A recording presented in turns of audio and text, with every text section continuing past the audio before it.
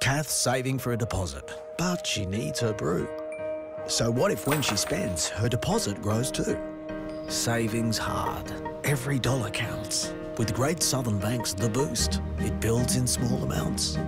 From her everyday account into her deposit, all behind the scenes. That wasn't hard, Kath, was it? The Boost helped Kath buy that unit with best mate Hank.